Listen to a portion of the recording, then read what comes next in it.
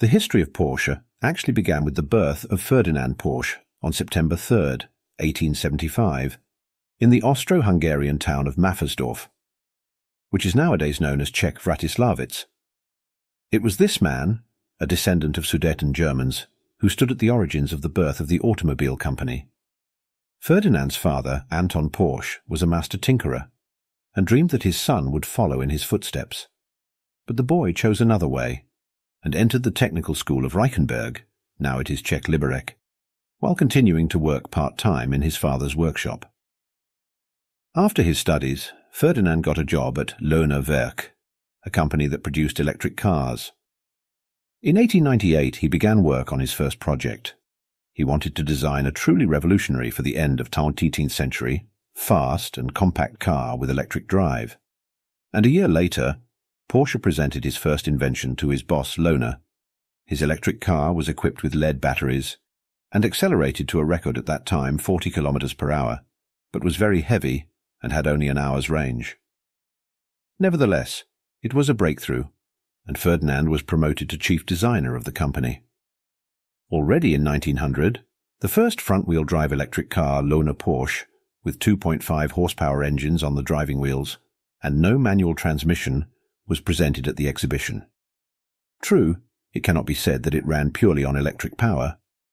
Porsche demonstrated the first ever hybrid propulsion system from an internal combustion engine supplemented by batteries and electric motors, for which he won the Grand Prix at the Paris World's Fair in 1900. But despite the universal acclaim, Ferdinand considered his idea not fully realized. Here's the world's first electric car. Six years later, Porsche actually headed the Viennese automobile company, Austro Daimler, working there both as chief designer and technical director. Under his leadership, the company produced several car models and then retrained for military needs.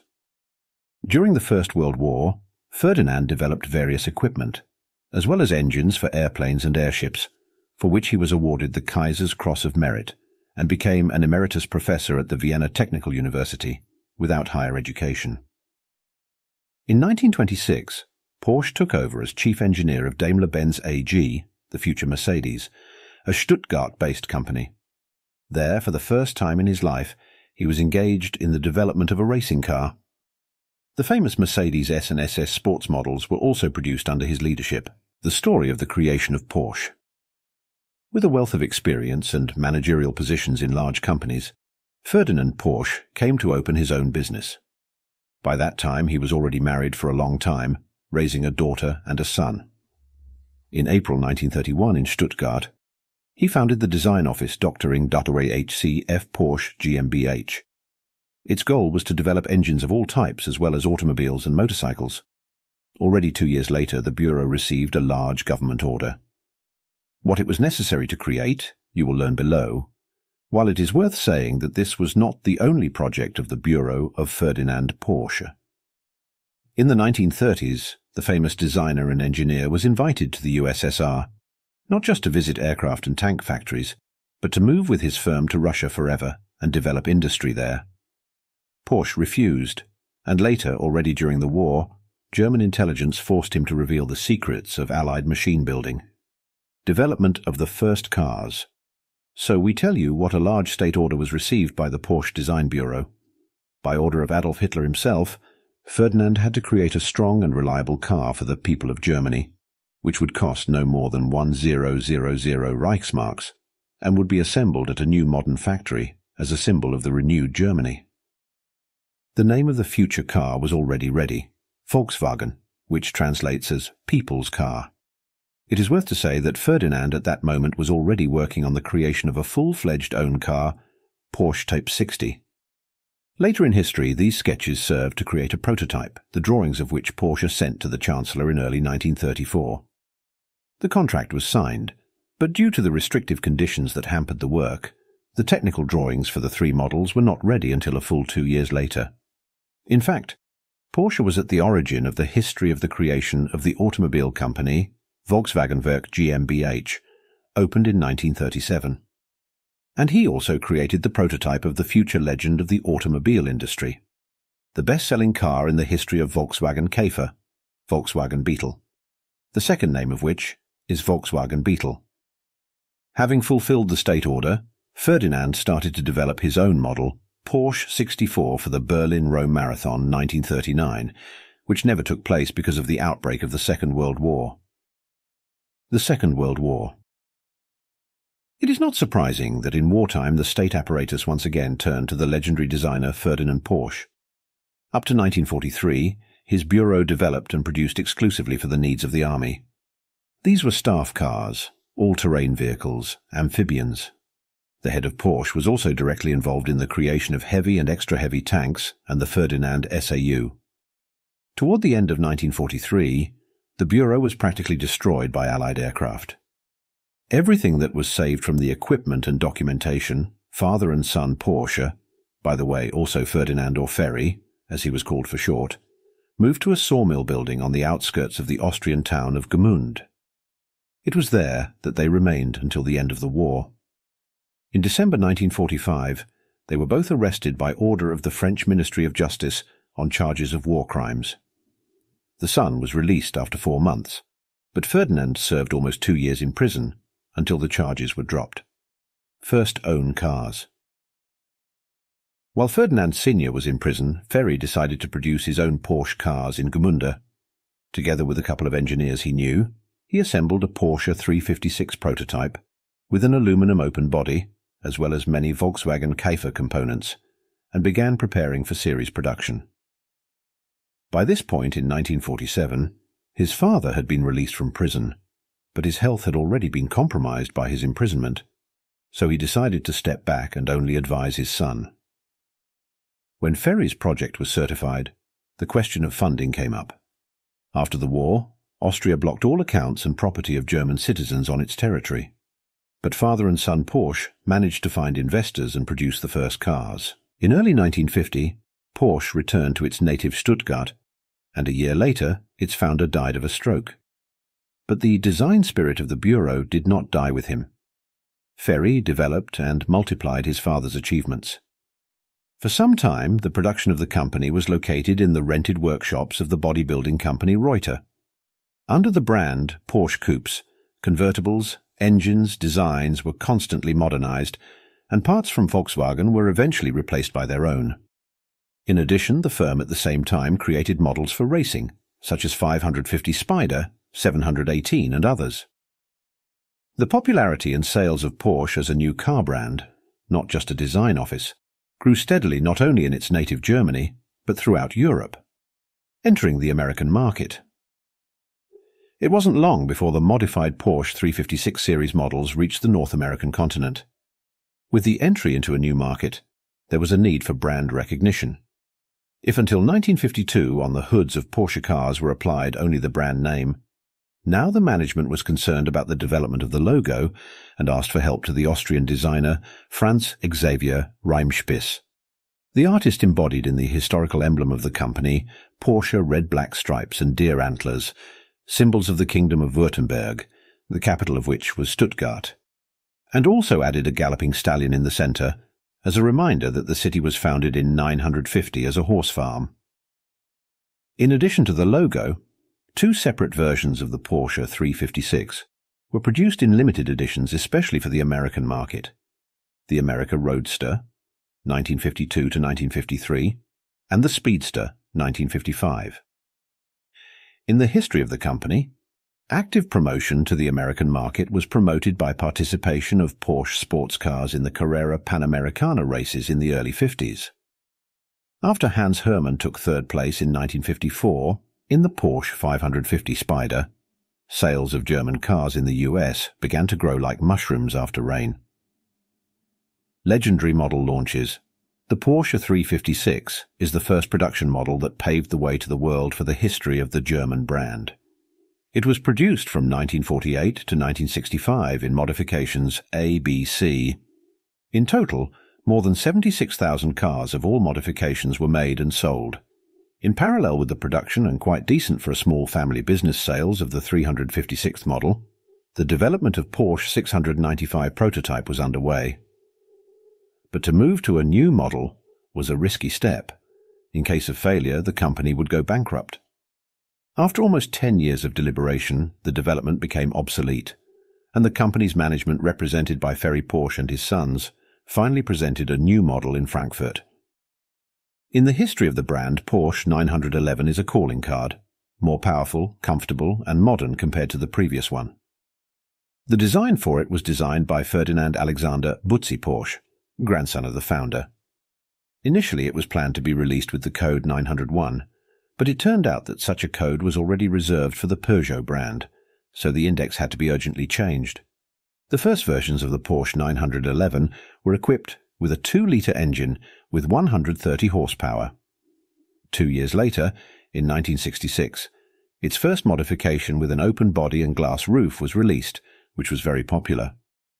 But the real hit were sporty modifications of the 911, Carrera RS 2.7 and Carrera RSR, released in the early 1970s as a tribute to the famous Carrera Panamericana races and very popular in the United States. The 912, 1965 to 1969, was a cheapened version of the 911 and was coldly welcomed, as the company's established target audience expected better quality regardless of price.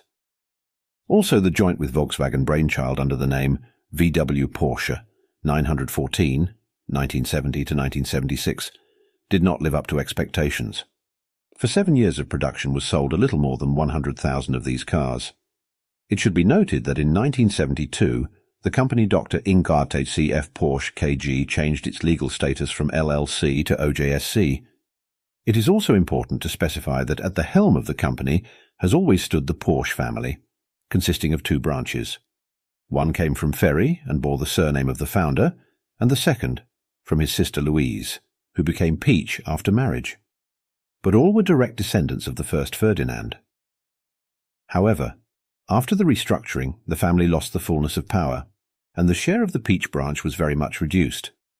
As a result, Ferdinand's grandson in this line went to raise the Audi concern, and then many years later, he also saved Volkswagen from bankruptcy and Ferdinand Alexander Porsche, Ferry's son and designer of the legendary 911 model, decided to open his own subsidiary Porsche Design, where he started producing luxury accessories for the brand's fans.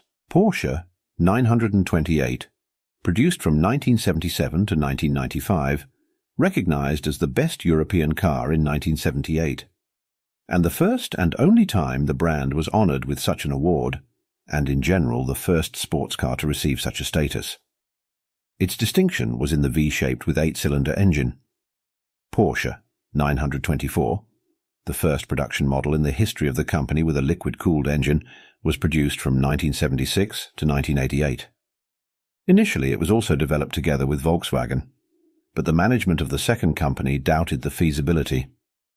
In the end, Porsche bought the project and did not lose out. This series was repeatedly modernized and very well bought, more than 150,000 copies. Later, the successor of Porsche 944 with extended fenders like 924 Carrera GT was produced. A total of 160,000 944S was sold with various modifications, SS2, Turbo, Cabriolet. Despite the generally good results of Fuhrmann's models, Ferry Porsche sent his resignation. The reason for this was the refusal to modernize the 911 in favor of new models, while the iconic series was bought much better. If it had continued to be produced all this time, the company would have made a lot more profit. Porsche's American manager Peter Schutz was appointed as the new CEO. Under him, Porsche's flagship brand status returned to the 911. In the early 80s, it got a convertible modification, and a year later, a reinforced version of 911 Carrera. Even later, the model range was supplemented with Turbo, Carrera Club Sport, and other improved copies. The Porsche 959 is a historic model produced for the 1980 World Rally Championship. Schutz decided to demonstrate the full engineering potential, and the company really made a sensation both in design and revolutionary technological stuffing. This model twice took first place in the Paris-Dakar Rally and was recognized as the most technologically advanced and advanced model of the 1980s, the best sports car of those years according to Sports Car International, and the best Porsche of all time according to the editors of Auto, Moto and Sport. The paradox is that the 959 lineup was unprofitable for the company. but it also gave a strong impetus to the development of sports cars. The Porsche 959 is a historic model produced for the 1980 World Rally Championship. Schutz decided to demonstrate the full engineering potential, and the company really made a sensation with both design and revolutionary technological stuffing. This model twice took first place in the Paris-Dakar Rally and was recognized as the most technologically advanced and advanced model of the 1980s, the best sports car of those years according to Sports Car International, and the best Porsche of all time according to the editors of Auto, Moto and Sport. The paradox is that the 959 lineup was unprofitable for the company, but it also gave a strong impetus to the development of sports cars, a new age. The arrival of Wendelin Wiedeking marked a new era in Porsche's history. But it was not until 1996 when the company introduced the Porsche 986 Boxster, a mid-engined roadster. It became a new symbol and business card of the renewed brand. Its designer Harm Lagaay was inspired by the look of the early iconic 550 Spider and 356 Speedster models. It was the brand's first car designed initially open. Previously, only modifications of closed ones were convertibles. Another advantage of the novelty was in the relatively affordable price without loss of quality. Not surprisingly, the market met it very warmly. Up to 2003, this model headed the top sales of the company, until it was displaced by the Porsche 955 Cayenne. But this was not the only successful novelty. In 1997, another one was presented, 996 Carrera, the fifth generation of the 911 family, which was also received very warmly. According to the British magazine Evo, it became the sports car of the year. Then there were Carrera 4, GT2, GT3, and the new flagship 996 Turbo, equipped with new generation engines and all sorts of technical chips, as well as other racing and sports cars. But the main event and the most unusual car in the history of the brand was the Porsche Cayenne SUV, developed together with Volkswagen and put on sale in 2002. It was so out of the company's lineup that the public's reaction to the novelty was ambiguous. Nevertheless, it is the Cayenne that still remains the most popular car of the brand, having undergone more than one modification. Another grandiose event in the history of Porsche, but already in the racing world, was the supercar Carrera GT, which became the fastest production car at the Nordschleife Nürburgring. But unfortunately, new safety requirements were introduced in the USA, because of which the production of the supercar stopped. Only 1,270 of the planned 1,500 were produced. In the future, the company did not risk with revolutionary ideas, only modernizing the good old classic 911. Its next descendant with the Index 997 came off the assembly line in 2004 and received modifications according to the structure that became classic for the company Carrera, Targa, GT2, GT3, Turbo. In 2005, the new Boxster and Cayman were presented, as well as new modifications of existing models. In 2009 through 2019, the production Panamera, Panamera S, Panamera Turbo, 911 Turbo S, Racing GT3R Hybrid, with 640 GP under the hood, as well as the fastest road-going 911 GT2 RS and a new hybrid concept, 918 with 886 GP, updated Porsche Cayenne Coupe and Cayenne Turbo Coupe were released. And most recently in 2020, the world saw the first in the history of the Porsche brand electric sports car model Taycan, which broke sales records and became the best in its class. It has collected more than 50 international awards and is recognized as the most innovative car in the world. The electric car was developed in line with the brand's decarbonization program, aimed at achieving a CO2 neutral balance in the production chain by 2030. More than 1 billion euros are planned to be invested in this program over 10 years. All Porsche production is already CO2 neutral from 2021. The Taycan Cross Turismo is the first model to be CO2 neutral over its entire lifetime. By 2025, half of all new Porsche models will be equipped with an electric motor, and in 2030, this figure will rise to 80%. So the new millennium has become not just an era of revitalization for the company, but a truly golden age in the history of Porsche cars. Racing. In fact, since the company was founded, Porsche's history has revolved around the world of racing. Even the very first model Ferdinand Porsche developed for rallying. In 1951, a specially designed version of the Porsche 356 with an aluminum body won at Le Mans. Since then, sporty and racing Porsche cars have constantly participated and received awards in various races, such as Carrera Panamericana, Formula One, Targa Florio and others, including rally championships in Monte Carlo and Paris-Dakar. The Porsche brand has more than 28,000 victories to its credit. The more passionate a person is about what they do, the more he can achieve. That it is thanks to Ferdinand Porsche. Of German automobiles have gained their high reputation first and foremost, first of all, as the most reliable, rugged and prestigious, and the words that Ferdinand once said are still is still known by all of us, if you want to do something well, do it yourself. Friends, how do you personally feel about this brand of car, and if you've had any experience driving a Porsche? Be sure to write your opinion in in the comments and rate the video if you like it and see you soon. Bye.